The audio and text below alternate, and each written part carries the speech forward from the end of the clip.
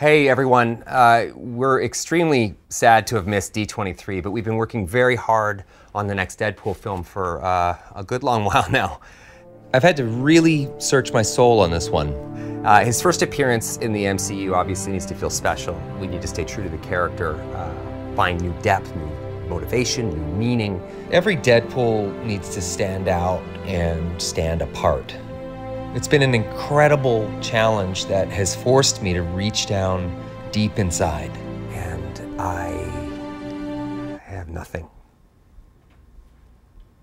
Yeah, just completely empty up here and terrifying. But we did have one idea. Hey, Hugh, you want to play Wolverine one more time? Yeah, sure, Ryan.